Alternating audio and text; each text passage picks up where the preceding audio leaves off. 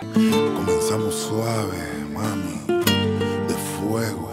Alfredo Torres, Sánchez.